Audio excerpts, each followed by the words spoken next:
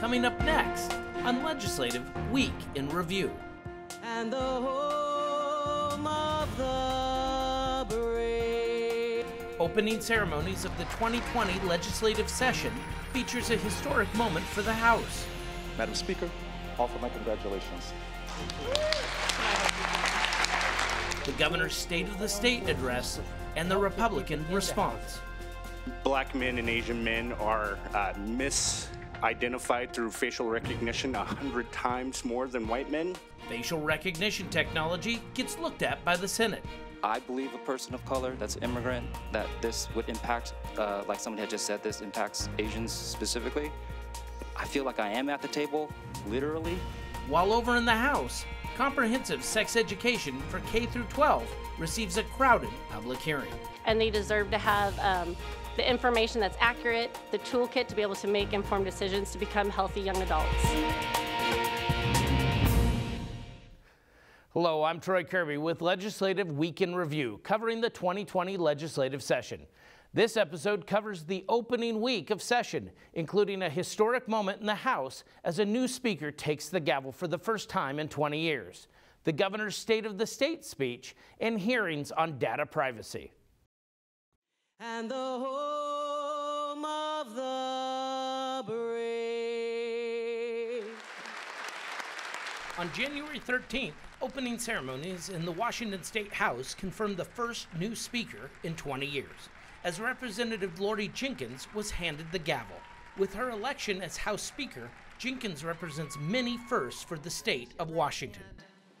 I, Laurie Jinkins, I, Laurie Jinkins, do hereby affirm do hereby affirm that I will uphold the Constitution that I will uphold the Constitution and laws of the United States of America, and laws of the United States of America, the Constitution and laws the Constitution and laws of the State of Washington, of the State of Washington, and that I will faithfully and impartially discharge and that I will faithfully and impartially discharge the duties of the office the duties of the office of Speaker of the Washington State House of Representatives of Speaker of the Washington State House of Representatives to the best of my ability. to the best of my ability.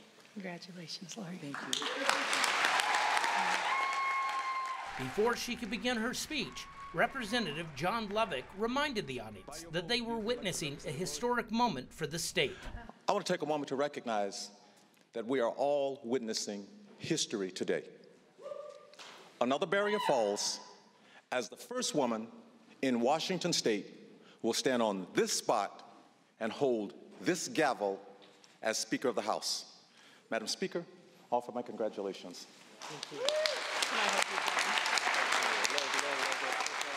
Jinkins laid out her agenda for the entire 98 representative body, which focused on health care, living expenses, and the struggles of homelessness. those who can't access health care due to cost or geography, those who are grappling with opioid addiction or another substance use disorder, those who are falling behind in an economy that's not working for everyone. There are emergencies all across the state, and one in every community I visited this year was housing and homelessness. I heard about it from the good member from the 39th in Sultan and good and the good member from the 3rd in Spokane. And I the good member from the 19th actually drove me through a homeless encampment in Aberdeen. I heard it from many, many others of you too. We have to focus our time in this 60 day session working to ensure greater stability for families and communities by getting people inside, out of the cold, with a roof over their heads and somewhere to build a life. Jinkins also focused on the rising expense of childcare. Another issue that touches all of us is the lack of affordable childcare. This hurts families and businesses. Last year, the Association of Washington Business reported nearly 50% of Washington's parents found it difficult to find affordable childcare. That no, not only hurts families, but it's costing our businesses over $2 billion a year. You know, over the holidays, my wife and I had a couple, um, two couples over who had one year old kids. And we had them over for breakfast. And it was really troubling to hear them talk about how difficult it was to find childcare and how expensive it was. Linda, Yasmin.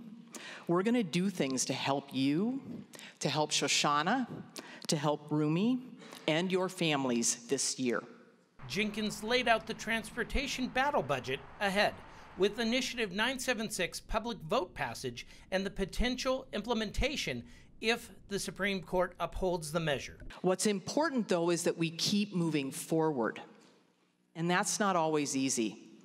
This session, we're going to be grappling with the effects of Initiative 976 on, trans- on our transportation system. I am not going to sugarcoat it. The impacts of this initiative are devastating to transportation in our state, particularly for seniors, people with disabilities, and people with low incomes. Many of whom they rely on our buses, our ferries, our trains, and other forms of public transportation. We will fight to protect the most vulnerable in our communities. I am really grateful to my seatmate, the good member from the 27th, who's working with the good member from the 2nd, Representative Barkis, to do this. We'll work with our colleagues across the rotunda and the governor to keep Washington moving. It's going to be hard, but we will do this hard work together. House Republican leader J.T. Wilcox, with 40 representatives in his caucus, then provided his response to the entire House floor. He challenged the 56 Democratic member majority to be active listeners to the Republican minority. This is a place where you talk about conflict. And at its best, it's a place where you help resolve conflict. And Madam Speaker, uh, one of the things that I really appreciate that you recently said is you talk about how your job is to listen. And Madam Speaker, we're the minority. That means that we don't get to win a lot of things. Uh, our number one job is to speak and debate.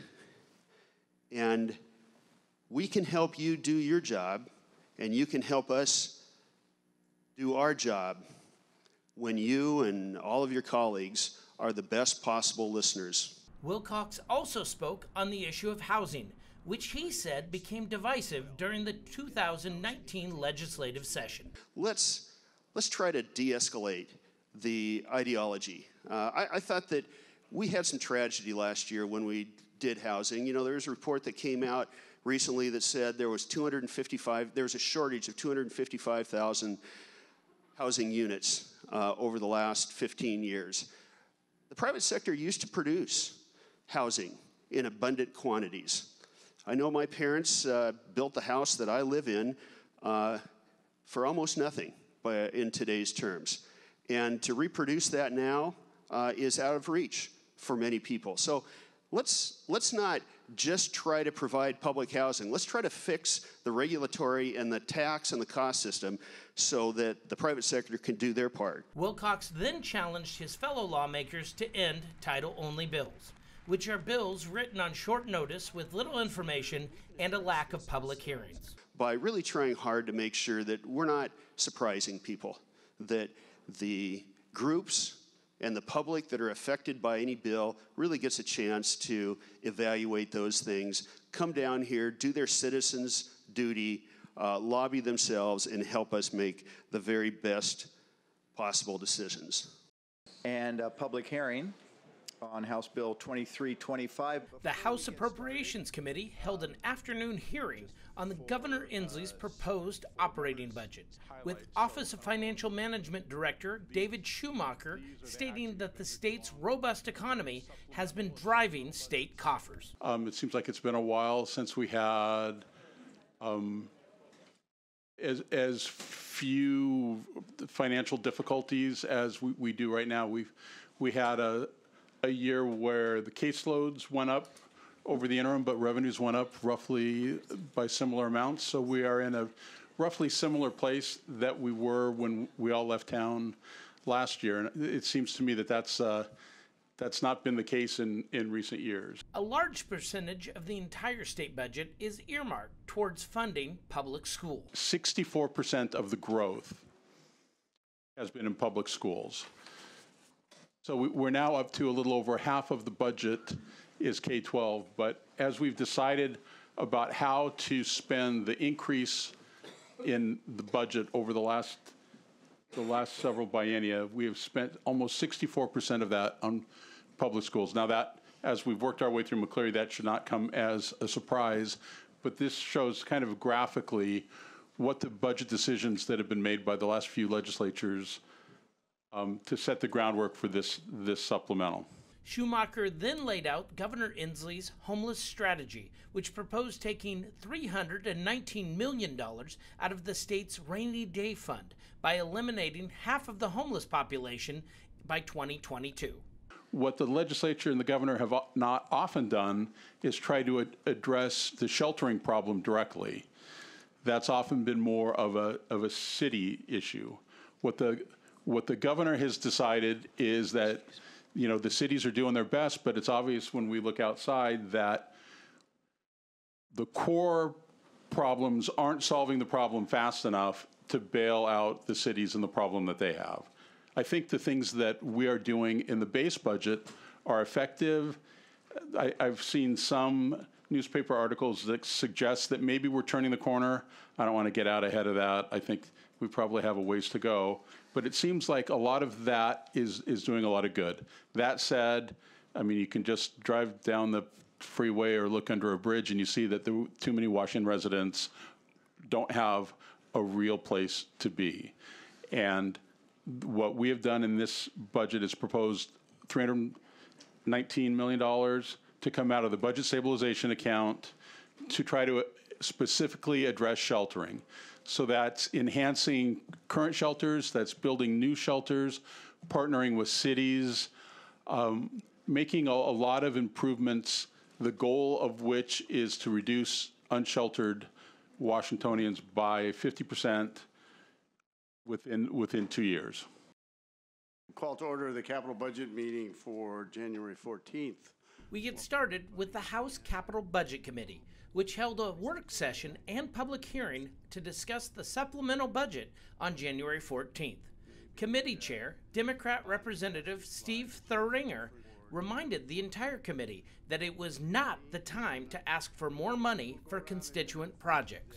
That's really the takeaway message for folks. To, that uh, shows the the lack of funds here in the supplemental. Very much a very true supplemental process where we might move dollars around within existing allocations to meet demand, but there is very little uh, new money. So just take note as you're talking to your constituents, who I know have many desires with uh, for capital dollars, but the this is the supplemental is not the time to to fund those projects. So. Um, thank you for Senior analyst for the Governor's Office of Financial Management, Jen Masterson, presented the funds available to spend on the Governor's proposed plan to increase the capacity for shelters and new programming aimed at eliminating half of the homeless population by 2022 the governor proposes a $30 million grant program for the construction of new enhanced shelters and the enhancement of basic drop in shelters through facility improvements such as laundries, bathrooms, and storage spaces. Experience has shown that shelters providing day access, secure storage, and hygiene facilities tend to have higher utilization. And when those sites are linked with other service programs, which the governor has proposed in the operating budget, we see better results. We estimate this $30 million will enhance 117 shelters, expand 39 shelters, and construct six new shelters for a total of 1,300 new shelter beds and enhancements for 3,500 existing beds. Uh, as Director Schumacher presented to the House Appropriations Committee yesterday, this funding is out of the Housing Trust account following a transfer from the Budget Stabilization account. Masterson then focused on a $15 million ask by Governor Inslee for state institution improvements. This is what the OFM capital team calls the broccoli of the budget. Um, by that, I mean projects like leaking pipes at Monroe Correctional Complex, which are causing water infiltration into the walls um, or projects like the main dock at McNeil Island, which is cracked and damaged beyond repair. Although these projects are not very glamorous, they keep state institutions running safely. The Governor's Office of Financial Management then asked for an investment in K through 12 public schools. Based off of a school seismic safety assessment authorized by the legislature in 2019.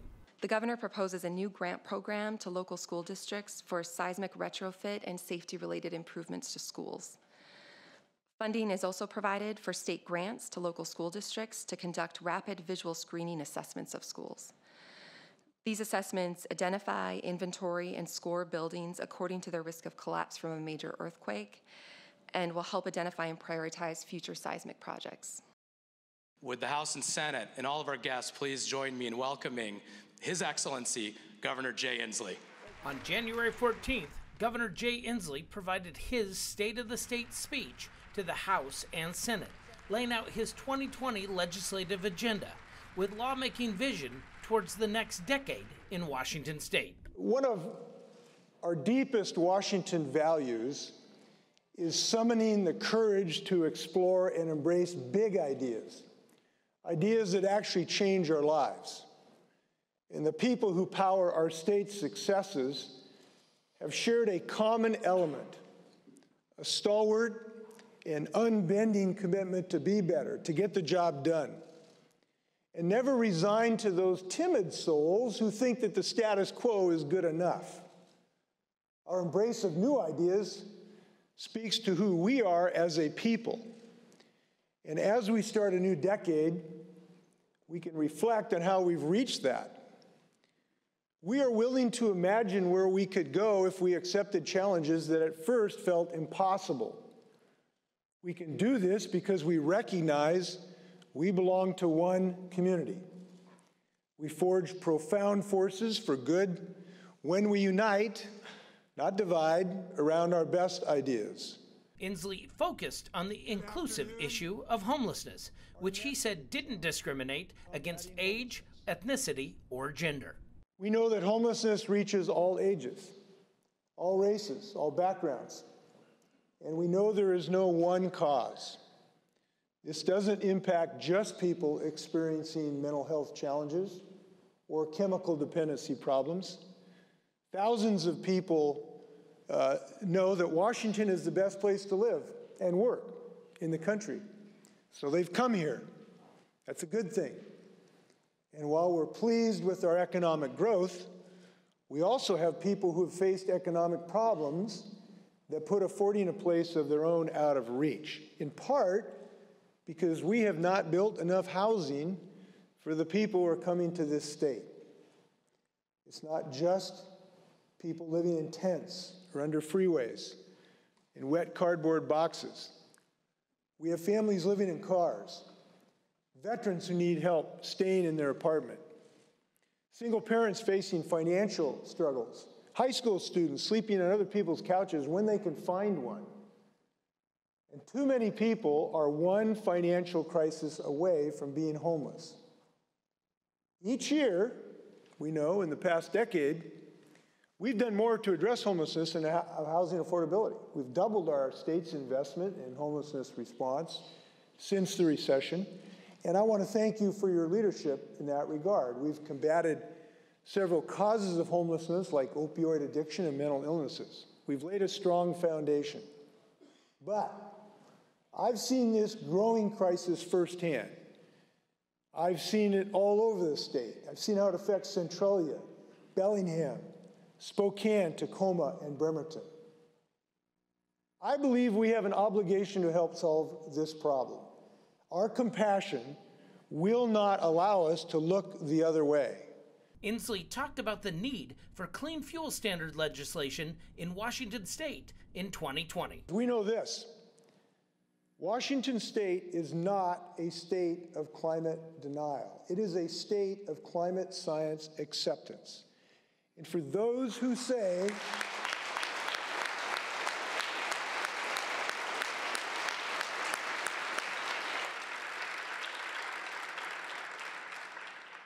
those who say that we should not take action, I say that climate inaction is just as deadly as climate denial. This is the year for climate action. It's time to pass a Washington law for Washington jobs, for Washington drivers, and Washington children and let's bring this success home this year. Inslee concluded his speech with a message of unity to the House and Senate lawmakers. The, the good news is we can do these things. We can because we are the state that embraces the biggest ideas and tries the newest things. Our ambitions can sound daunting, but we know the path to get there. Look what we've done in the state of Washington. We have made something that is indisputable. We have made something that is inspiring. We have created a spark that ignites our innovation, our collaboration, our communities, our partnerships, and the big ideas that we fit into this state. We experience the best of Washington when we come together. We've just heard the governor's view of how things are in our state. Senator John Braun provided the Republican response to Governor Inslee's State of the State speech. Braun advocated to protect the rainy day fund from Governor Inslee's homelessness plan. This time, he wants to pull more than $300 million out of the state's rainy day fund. As the Republican leader on Ways and Means Committee, I can tell you we need that money in the rainy day fund for when the state economy slows. That's what the voters intended. If the governor believes more tax dollars are the best response to the homeless situation, he needs to look somewhere besides the state savings account. Braun also highlighted Initiative 976 Public Vote Passage, which limited car tabs to $30, and if enacted, will also have a major impact on the transportation budget. Braun said that Republicans had a solution to respect the voice of the voters while avoiding massive cuts to schools. But when those in control ignored the very people who were hurting, the result was Initiative 976. Republicans have legislation to keep the $30, $30 license tabs as the voters directed. And it would not take money away from schools in spite of what the governor claims. The Environment, Energy, and Technology Committee of your Washington State Senate will come to order. Consumer data privacy and facial recognition were discussed at the Senate Environment, Energy, and Technology public hearing on Wednesday, January 15th. SB 6281 restricts private consumer data usage, creates business thresholds, and authorizes enforcement by the state's attorney general. It also provides regulatory framework on commercial facial recognition usage. Washington Retail Association's Mark Johnson had concerns about the bill's impact on consumer experiential marketing. Loyalty programs. We are committed to ensuring that consumers have choices, are in control of their interactions with retailers. One key option that many consumers choose is to participate in retail loyalty programs. These programs will offer discounts and other benefits for consumers who voluntarily participate. Unfortunately, as written, the new anti-discrimination language that prohibits differing prices on service levels is problematic. Thus, we urge that this new language either be removed or amended to ensure that consumer loyalty programs can continue to be offered by retailers. Washington ACLU's Neil Beaver was against the bill citing that facial recognition technology has misidentified black and Asian men on a larger scale, and felt that regulation of the technology didn't go far enough to evade concerns of racial bias in its usage. Whether you call it bias or whether it's unintentional, uh, black men and Asian men are uh, mis identified through facial recognition a hundred times more than white men, and we find that troubling. And sorry we haven't participated in the process sooner. We're starting to learn more information across the country and other countries where companies like Facebook are providing body cameras to uh, law enforcement, and that information is being used to develop a uh, variety of different AI technologies and other facial recognition technologies used in the criminal justice system. And we believe that we need far stronger parameters around the use of facial recognition in the criminal justice system. And until we do, we need to be opposed to this bill. Senate Bill 6280 focused specifically on facial recognition, requiring state and local governments to develop accountability reports and an annual report when using the technology. The bill also establishes a facial recognition task force. Washington ACLU Representative Jennifer Lee said that the usage of facial recognition technology was a potential threat to democracy and community activism. Because this bill seeks to regulate facial recognition without first giving the communities historically most impacted by surveillance an opportunity to say yes or no to the technology. Lee's testimony drew the ire of Senator Joe Nguyen, the bill's sponsor who took exception to the ACLU's claim that he had not taken enough input from minority communities, who Lee said were the most affected by facial recognition technology deployment. I want to get more feedback on the community's input. So I've met with the ACLU probably a dozen times at this point, maybe with various folks, starting since last January 17th over the summer at coffee shops in West Seattle, on the phone, via text message. Does that count as input from communities?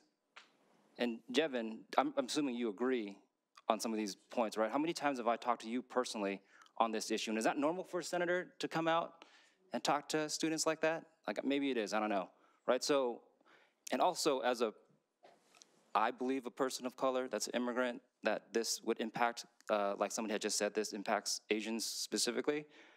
I feel like I am at the table, literally. So I appreciate that feedback, but help me be better at this.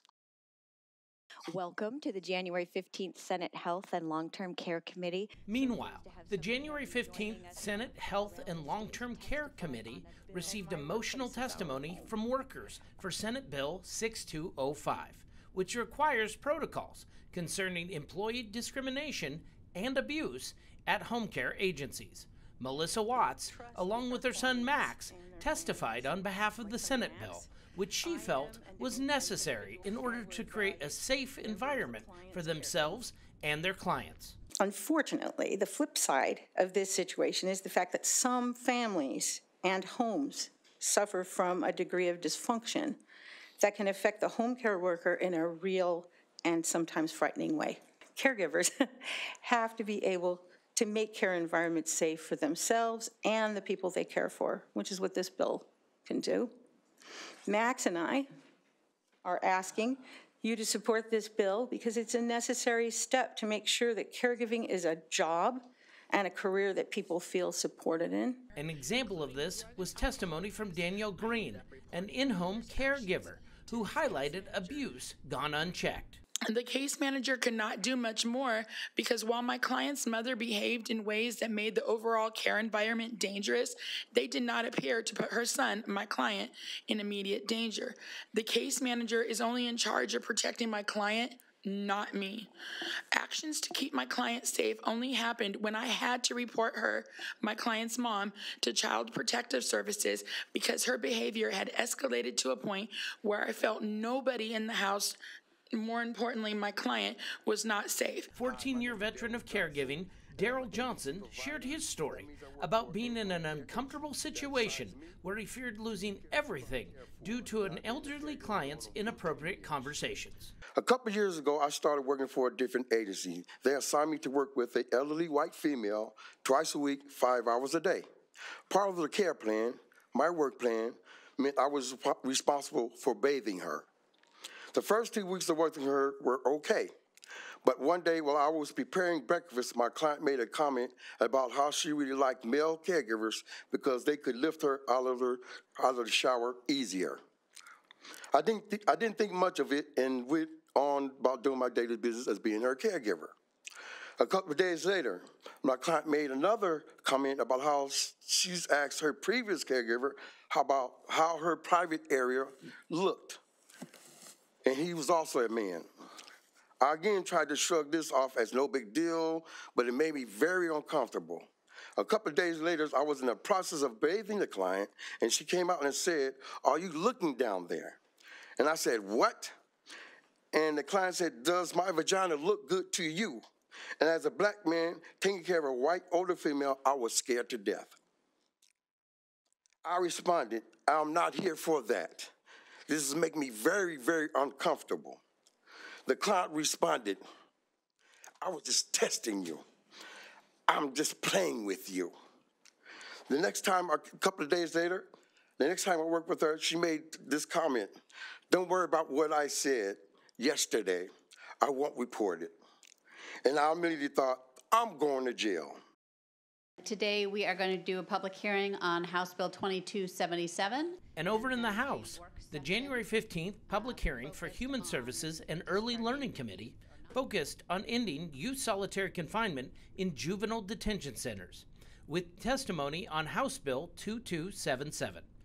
Representative Republican Tom Dent asked about the need to keep out of control youth isolated to protect themselves as well as others within the facility. If we lose solitary confinement for an individual like this, then how are we going to keep the other folks safe?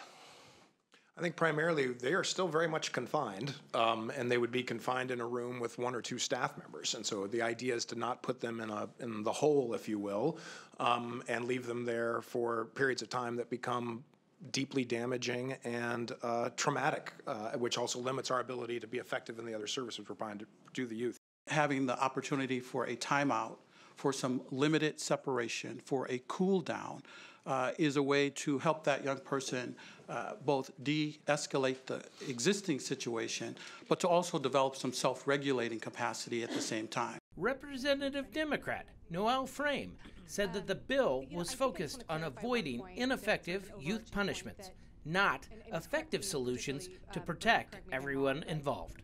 What we are trying to achieve here is no longer using solitary confinement as a punitive measure, which all the data tells us is actually an ineffective tool in the tool chest to moderate behavior of children that are having those behavioral outbursts. What we're not taking away is the ability to protect them from themselves, from other children. We've got some, looks, sounds like we've got some details to work out, but we're trying to stop using a tool that we know from all the evidence does not work in modifying behavior, not taking away tools for safety for the child, the staff, or the other children. We obviously have a very popular subject for 8 o'clock in the morning. The House Education Committee held a public hearing on January 16th on House Bill 2184, which would bring comprehensive sex education to K 12 public schools in 2 years. Proponents included the Superintendent of Public Instruction's Laurie Dils, who advocated for the bill, both in her role professionally and as a parent. The members of the group felt very strongly that this is an equity issue, that every single student around the state deserves exactly the same access to medically accurate, comprehensive information that protects people's health, um, especially given the rates of STDs that we're seeing increase dramatically over the last five years. And with our data summary, we did look at the last five years of data. We looked at trends, and we've seen an incredibly disturbing trend with a climb in STD rates in our state. They're going to be faced with choices that we cannot deny, and they deserve to have um, the information that's accurate, the toolkit to be able to make informed decisions to become healthy young adults. We are at the cusp of a culture shift that is necessary. Uh, it's not, you can't go by the headlines and not recognize that HR um, policies across the country and corporate worlds, and even here on this campus, have been reevaluated because um, we have um, an, an epidemic upon us where we are responding, I think, partly in this bill on a long term to um, ensure that we have an understanding of how we are to treat one another. Critics challenge the proposed standards, especially for children in early grades K through 3. A lot of people are very upset with having a standardized curriculum for K through 3, uh, especially. I mean, uh, and when I looked at the curriculum, I, I'd be happy to read some of the stuff, but I will tell you that I know that the chair would gavel me because it's completely inappropriate for me to say here. And I think that if it's inappropriate for me to say on the dais, I, I'm, I don't think that that's something that I would want to teach a kindergartner. In Battle Ground, we, we actually purchased the Flash curriculum and we shared it with the community. From describing the sex act to kindergartners, having nine year olds playing bingo with sex words, providing absolutely no failure rates or side effects for any of the birth control methods, to reading a step by step description of an orgasm to a co ed classroom of 14 year olds, and many other examples. It was clear it was not. And the community said no. Why not tailor this to the, to the secondary education system? Um, I've, I've looked at the data uh, to the m- Representative Caldier mentioned, the only plan that's been approved by OSPI that has K-2 education, those are, that's where the information's coming from. That's where those words are that we're not saying here on the dais. So why not focus on that area of, you know, middle school through high school? Good morning, Mr. Chair, morning. members of the committee. For the record, The Senate Committee on Environment, Energy, and Technology held a January 16th public hearing on Senate Bill 5412, which establishes a clean fuels program to reduce greenhouse gas emissions by 2035. One of the things that I think is important to understand under the system is the Department of Ecology, through rules and through a regulatory framework, is establishing kind of the market. But by and large, this market is taking place between private entities. So they're trading credits, they're doing things internally within their business operations to achieve the reduction targets um, and to resolve that credit deficit situation under the clean fuel policy. During the bill's briefing, Senator Doug Ericksen challenged staff about the cost to consumers. Under this proposal, how much of that anticipated additional cost that the consumer would be paying would go to the state of Washington in terms of additional um, fees to the to the Treasury? So your question is, with respect to gas prices, if the prices go up, would there be fees that, w- would any of those resources un- to Under your state? model here, in terms of an LCFS, by definition, there's going to be fees paid to go into a system that, that, that pays for something. Where, where does the money go? How much of that money would go to the state of Washington? Again, it's, it's all on a private market type system. So the answer would be none of the money generated. So let's just, for example, at a 5% um, carbon reduction and a 20 cent gas tax increase, none of that 20 cents would go to the state of Washington. That's fair. Those testifying didn't share certainty that the bill would be an effective way to reduce CO2 emissions if enacted into law. Transportation is one of the largest source of greenhouse gases in Washington State and King County. Expanded transit and clean vehicle fuel and uh, clean vehicle and fuel options are key strategies for reducing transportation-related emissions. We are working with cities to make transit easier and faster and more frequent, and to expand um, driving alternatives. This will have significant impact, but to meet our climate goals, low carbon fuels need to be more widely available for public fleets and private consumers. We need state level policy to accelerate the reduction in carbon emissions and transportation related particulates that threaten the health of our residents in King County. This is um, an extremely inefficient way to reduce CO2. Seattle City Light spends about $7 per metric ton of CO2. I spend about $10 per metric ton of CO2 at carbon projects that I invest in through the Bonneville Environmental Foundation. In Oregon, this costs $160 per metric ton of CO2. In California, $195 per metric ton. In other words, this wastes about nine out of every $10 it spends on CO2. We can do lots of other things that reduce CO2 far more efficiently than this. This is a bill that you heard before. It actually passed the Senate and the House last year, both but in different versions. So The Senate Committee on Human Services, Reentry, and Rehab looked at the jurisdiction of youth courts on Thursday, January 16th, with Senate Bill 5640, which is a substitute of two bills which passed both chambers in 2019, but in different versions, and also failed to reach the governor's desk. Like the previous bill, this expands the current youth court statute, which is for children aged 16 through 17 years old. It expands it to include civil infractions as well as uh, traffic and transit infractions. But also, uh, last year, your bill um, expanded it to go down to 12 years old, those 12 through 15 years old. Um, and this, this, this bill, this substitute bill does not do that, but it instead allows the youth court to function, function as a diversion uh, with a refer, accept a referral from a diversion unit from a juvenile court so that um, co-jurisdiction would be held by the juvenile court and the youth court under certain conditions. The substitute bill works to ensure that the offender interacts directly with peers to take responsibility, giving back to the community instead of merely paying a fine. While you have one adult court, youth court, and juvenile court, youth court, the, the combining of those two now has the protection for the juveniles that enter this kind of combined. It is rather unusual, I'll just say that very briefly, for a bill to have passed the House and passed the Senate, and then to not reach concurrence. And so there were um, you know, there was an issue raised at the very end about whether or not people would have uh, the ability, juveniles would have the ability to seal their records if it goes into an adult court. And so I think we have managed, we've threaded the needle here to try to make sure that this is uh, addressing uh, diversions from juvenile court. We're very pleased on this Friday morning to uh, be here bright and early. Prescription drug prices received a public hearing on Friday, January 17th, by the Senate Health and Long Term Care Committee. Senate Bill 6087 caps the out of pocket expenses for a 30 day supply of insulin to $100. And we have to do something about dri- driving costs, the increasing costs. The state's a very large payer in this process. We have hundreds of millions of dollars out of our budget going to pay for prescription drugs for our school employees, for state employees, and um, even uh, our Apple Care enrollees. And we're not alone in this. All the other states have this problem. In fact, 60 laws were passed just last year to try and bring down costs around the state for prescription drugs. Olympia small business owner Amber Marklin shared her son's story about being diagnosed as a diabetic and advocated for the bill's passage.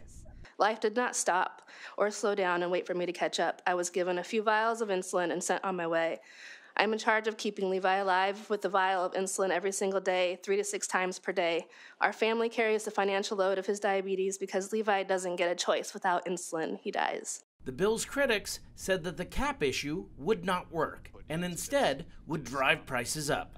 The number one goal of Washington's healthcare plans is to keep our members healthy, and certainly access to insulin is an important part of that for uh, our members with diabetes.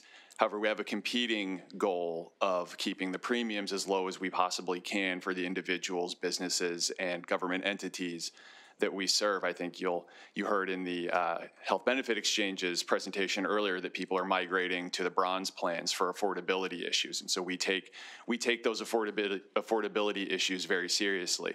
Uh, I'm going to defer most of the rest of my time to let my colleagues speak to some of the more specific concerns around this bill, but the the general concern is that setting a copay cap uh, won't won't help address the underlying affordability concerns that are driven primarily by uh, the pharmaceutical industry. Caps do not address the root cause of unaffordable drugs, which is the high list price set entirely by pharmaceutical manufacturers. These caps insulate pharmaceutical manufacturers from facing public accountability for their exorbitant price increases and force health insurance carriers to absorb the higher costs. These caps also remove incentives for manufacturers to, to negotiate in good faith, limiting the ability of health insurance carriers to play a pivotal role in lowering the overall cost of insulin. And these in- increased insulin prices must be accounted for through other means, ultimately, not lowering a member's overall healthcare costs. Thank you for watching Legislative Week in Review. You can follow all of our stories digitally on Facebook and Twitter, as well as on TVW including the entire legislative review at 8 p.m. and 11 p.m. daily, along with a weekend review on Fridays and the weekend throughout the 2020 legislative session. I'm your host, Troy Kirby.